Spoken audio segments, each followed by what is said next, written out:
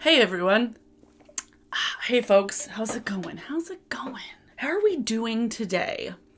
I don't have any makeup on because I'm gonna be doing a get ready with me because I want to play with some new makeup that I got in the mail a couple of weeks ago and then also talk about Lashgate because I feel like I have thoughts that I want to share that I haven't yet. Let me put on some primer first because I haven't done that yet.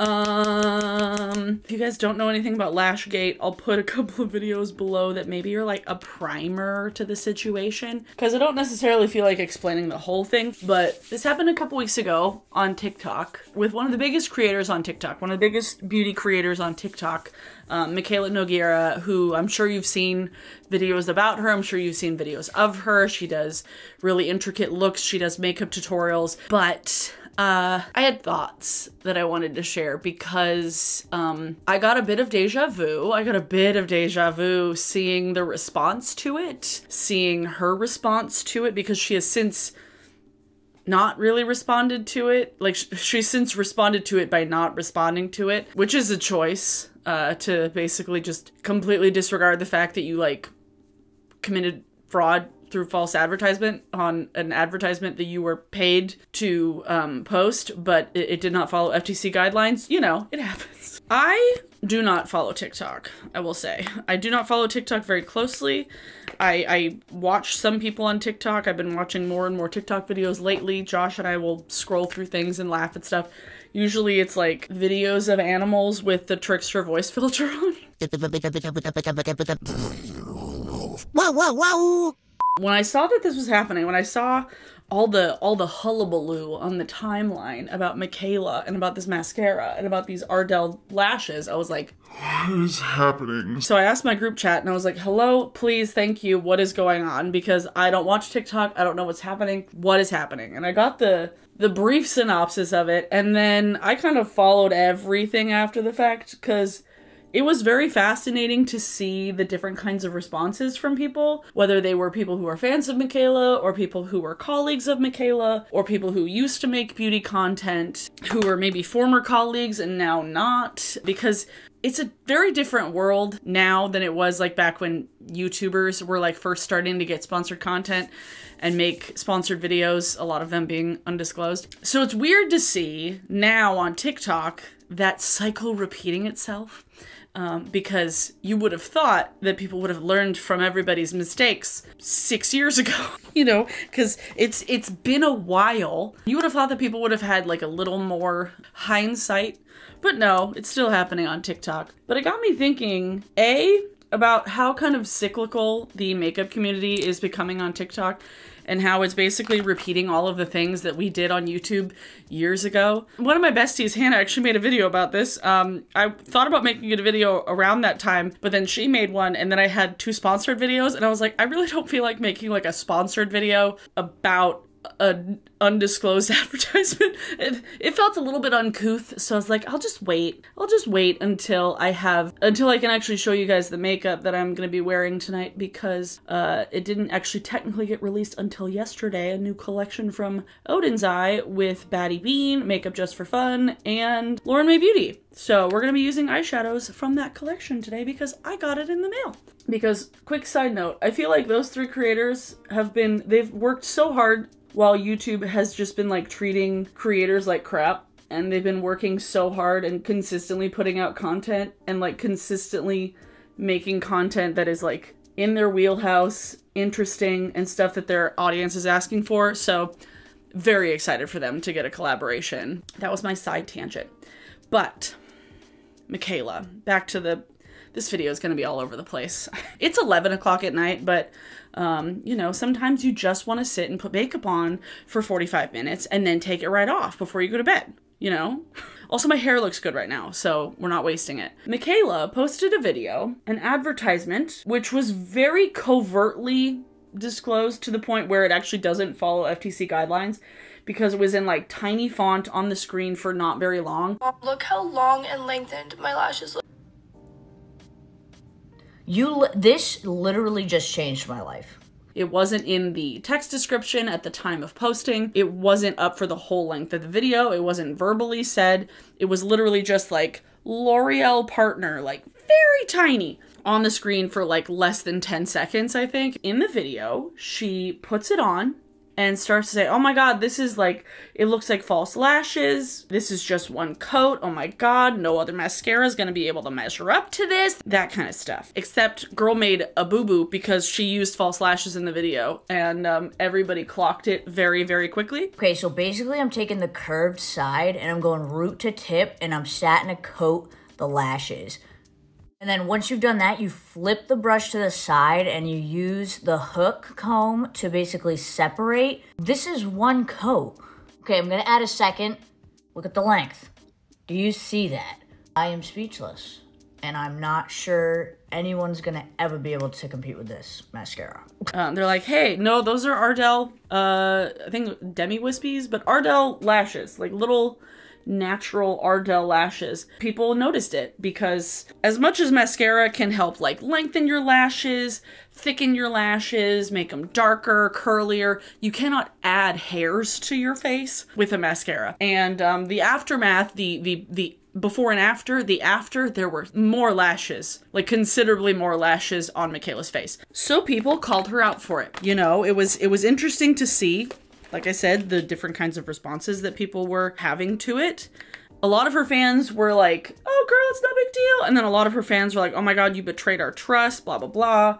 And then mostly what I saw, at least fellow creators being like, we should know better by now. like, you should know better. This just makes everybody else look bad. This makes nobody want to take us seriously. Also, your audience has been built on people trusting your opinions about makeup reviews because that's a lot of what she does on her channel is makeup reviews besides tutorials. So you have people trusting her judgment on these products and then she comes in to just lie when it, it, it does it's not it's not a good look. Okay, it's not a good look. It's not a good look to uh, lie to your audience and then also double down on that lie because after the initial video went up, right, everybody started noticing, holy crap, this doesn't look real. These are fake lashes. And then she tried to to she tried to double down, thinking that everybody was that stupid to like try and believe that she wasn't wearing false lashes. Like she doubled down and was just like, "No, I'm not wearing false lashes. This is just the mascara." We're like, "Girl, Stop. The thing that's happening on TikTok now is that there still is this kind of level of shame around doing sponsored content the way that there was on YouTube years ago. Now, because of people's understanding of AdSense and people's understanding of being demonetized and the algorithm, people are far more chill with sponsored content. Like, I take sponsored content all the time now. One, the algorithm hasn't liked me lately. Two, I want to get paid for for my work. And I think a lot of people understand that now. So on YouTube, sponsored content is the norm. But what I think is happening on TikTok now is because it hasn't caught up to where we are now on YouTube, there's still people not disclosing those sponsorships and people believing them. Uh, people watching, they're like, oh my God, I love this thing. I love that you're talking about this. Not realizing that they're being sold to. Not realizing they're being sold to in the slightest because a lot of the people on TikTok, the audience tends to, to skew a little bit younger than YouTube. So they're not as like aware of just like the the signs that something is an ad the way that people who maybe have been watching them for even longer on youtube can kind of decipher. Um, i'm going to start with the forest story or the flora story palette from uh, makeup just for fun. This one actually might be this is my favorite out of the three. This is my favorite out of the three. It's definitely my kind of color story. Um let's just do this brown. I don't know what i'm going for today. I really don't. I'm going to try to use all the palettes but i have no idea if i'm going to be able to. Anyway um, the messed up part about people being weird about ads on TikTok and sponsored content on TikTok is that TikTok doesn't have the same kind of internal revenue that YouTube does built in with AdSense.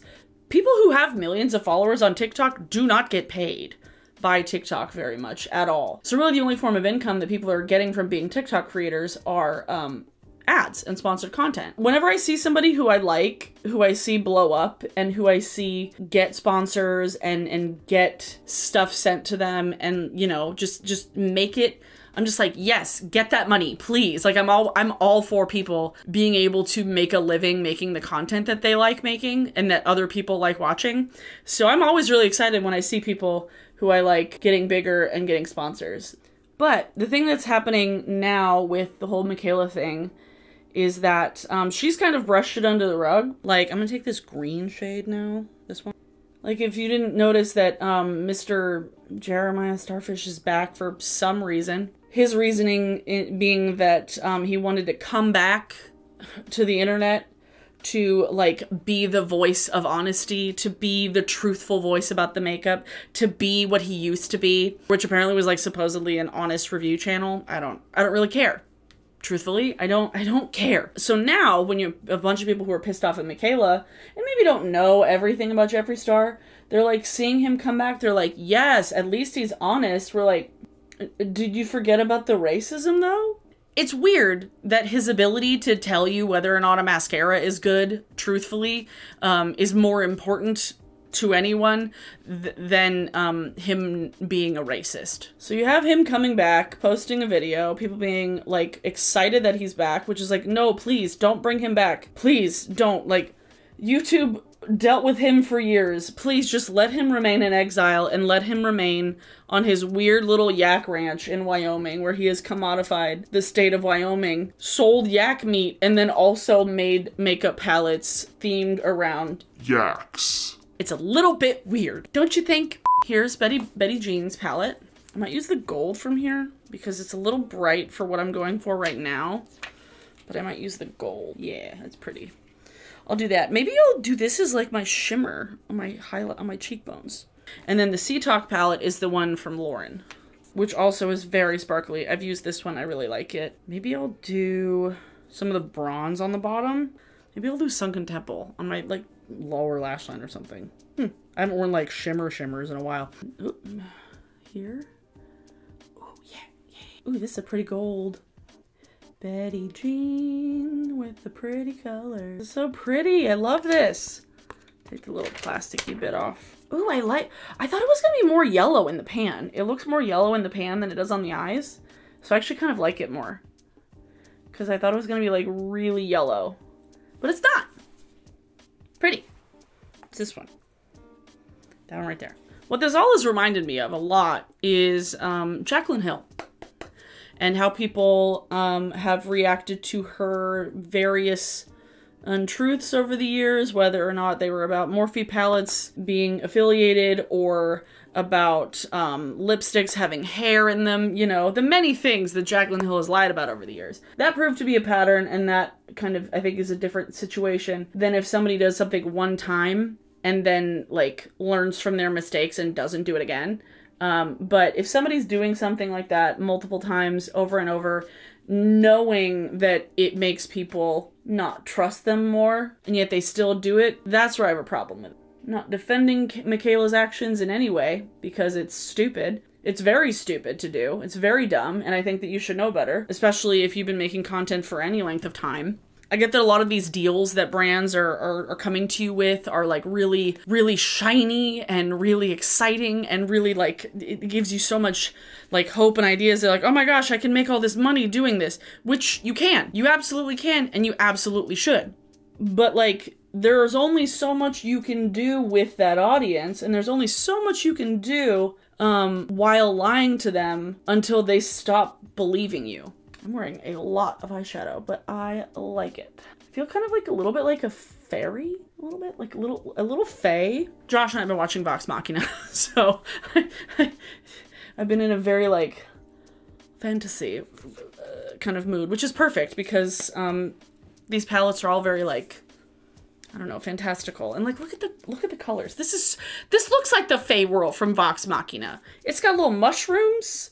I swear every time Makeup Just for Fun posts so consistently and is so on top of her game that I swear I will search for like a photo of a product. I will search for a photo of a product or a video about a product and almost every single time I will see one of her videos or photos in the Google Images. Hustling. I I commend you all for like working your asses off. And also I love how these shadows blend. But anyway, Anyway, back to what was happening on TikTok and Mikayla. The thing that kind of made me hold off a little bit on posting a video like right after it happened, A, I wanted to like wait for her response and see what she was gonna do. And B, I kind of wanted to see what other people were going to do because, you know, like what were drama channels going to do? What were commentary channels going to do? Who was going to talk about this? Like what kinds of backlash was there going to be? The thing is, who the people who were probably the most angry were fans. And like they have every right to be pissed off that somebody that they trusted and believed um was lying to them. Influencers lie all the time. They always have. Like it was literally a thing for like I don't even know how long people were posting undisclosed sponsorships and not getting called out for it. And then finally when they did, it was like the veil was lifted and everybody was like, Oh my god. "This isn't my parasocial bestie who's just recommending me all her favorite things." What? No, she's trying to make money. She's a salesperson. They're salespeople, which is not a bad thing. Like, it's totally fine to be good at selling stuff. Like, it's a skill to have. But, like, if you're kind of operating under the guise of you being a review channel and you honestly reviewing things for people, that's where I have a problem. However, the kind of vitriol that Mikayla got sent her way was sometimes um a, a bit excessive. Like I saw at least at least one commentary channel um who pretty much like admitted to just talking about the content and just talking about the scandal because they needed content to post. They're like, I'm just talking about it because I need content. Like they don't they didn't know anything about it. There's this thing that I've noticed that a lot of drama channels do that now some commentary channels are doing more and more, which kind of pisses me off, is that anytime anytime a man is making content about a woman um, dealing with drama, almost always you can expect one of the photos in the thumbnail to be like an unflattering screenshot or like um, an edit of their face to make them look worse than they look in normal life. And I don't know, I just think that's really low. I think that's a low blow. I think that's not that's a cheap shot. And it's like low key misogynist too. I feel like it's it's a little bit misogynist too to just like take an opportunity where you could be talking about someone's actions and then to just like shit all over her success. Just because you're not the target audience of her beauty related content on TikTok does not mean that her audience is invalid or any worse than yours or any dumber than yours or any less worthy of content than yours. That's the kind of shit that really drives me crazy. This is kind of beside the point of like what she just did, but like her content at face value, like you can be annoyed that somebody who has a lot of followers is getting in trouble and making everybody else look bad. Absolutely. I was annoyed. I was like, really? We're still doing this? We're still doing undisclosed sponsorships? Like, I was pissed off. I was annoyed. It just reminded me of like back when people started getting in trouble for um, not disclosing their Morphe sponsorships, and a lot of people looking at the beauty community as this like group of dumb sheeple that don't know how to discern between re- like what's an ad and what isn't an ad. And now you have the same kind of thing happening, but with TikTok, and you have people looking at her audience like they're stupid. Now that she's posted a response, a non-response, and completely disregarded it and just moved on. There is a, a, a, portion of her audience that are just like not caring and they're just being like, yes, girl, move on. Who cares? It's just mascara, blah, blah, blah. And, and then there's a group of people who are of the opposite mind of that. I thought it was really immature and and really unprofessional to not address it because you being truthful to your fans is what's keeping your audience. I've used this one in a long time.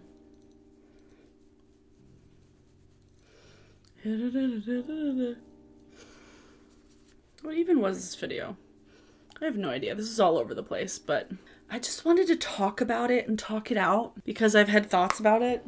I had feelings about it. And the long and short of it really is like we are starting to see um, what happened on YouTube happen on TikTok. And I really do hope that the creators over there like take this as a lesson and and actually like just be like honest and truthful to their audience because um, you can only go so far with lying to people before your reputation is kind of destroyed. And um, with how quick things happen on TikTok, I could imagine it would it could happen so much faster. Like all of this started happening so fast. It was literally like they repeated all of these actions of YouTube that maybe happened over the course of like three years within the span of like 18 months or less. So it's been interesting to watch because there's all of these things going on on TikTok now. We're like de-influencing, which is just anti-hauls. Like people are starting to kind of recycle the same ideas that people came up with like five, six years ago here on YouTube. So it is funny to see like how similar things are happening, just at a much more rapid rate. And then with specifically with what Mikayla did, I think it was dumb, and I think she should address it. And I think leaving it completely open ended, um, you know, it's not professional. It's not a good look. But I also think that a lot of people took the kind of harassment too far, where they started attacking her looks, just like what happened with Jaclyn Hill. There were so many things that people could criticize that she did and she said, but people started to take it as an opportunity to make fun of her cheeks or her filler or her weight gain and fat shame her, which is uncalled for. Um, even if somebody has made a lot of shitty mistakes and has like wronged their like you just why why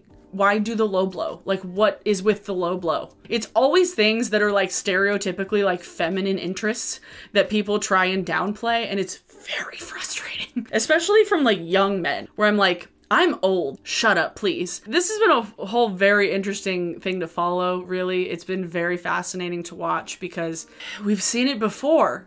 We really have seen it before, and I really hope that TikTokers can feel better about posting sponsored content because that's really the only way they're able to make money there, like actually. And posting things that are lying to their audience only hurts everybody in the long run. So um, please stop doing that if you're doing that. Thanks. Cool. So that's all I wanted to talk about. Okay. Oh, also these palettes. Flora Story palette from Makeup Just for Fun.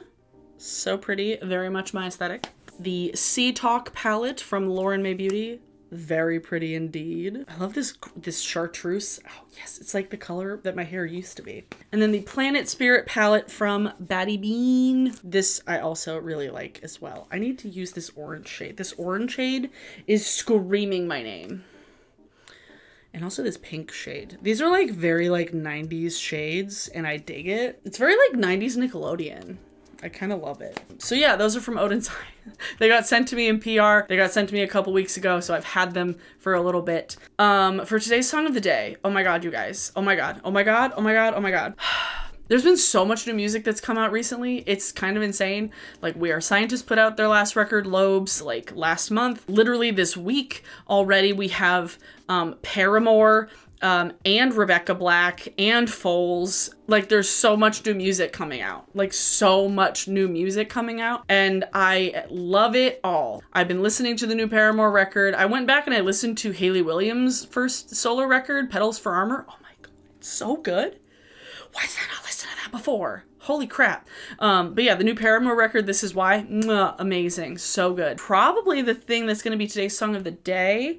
So Rebecca Black just released her first, her debut album 12 years after um, Friday. The record is called Let Her Burn, and it is very good. It's so good. I'm so excited for her, except I want her to come on tour. Oh, boygenius has new music coming out too. Fuck. But today's song of the day is Sick to My Stomach. You should listen to the whole album and blast it from your car speakers. This video is probably all over the place. I will edit it as as as as um coherently as I possibly can. I just had a lot of kind of incoherent thoughts where I was just like, really people are trying to bring Jeffree Star back because he's honest about mascara, but also he's like a violent racist like frustrating to say the least. But if you would like to follow me on TikTok, I am Abbers over there as well as on Twitch, Abbers without the 07. And then uh, Twitter and Instagram, I'm Abbers07. I've been the same username since probably 2007, which is now 15 years ago. Fuck. Yep, that's a long time ago. Holy shit. Thanks for watching, everyone. I hope you enjoyed this. Let me know your thoughts in the comments down below. Um, all of links to these palettes below in the description as well. Um, like I said, they did get sent to me in PR, but I'm not being paid to say this. Um, they just got sent to me, and I like the eyeshadow palettes, and I was excited for them. So those will be linked below. Thanks, guys. Bye. Subscribe, too. Please. Thanks. Okay, now I'm actually going.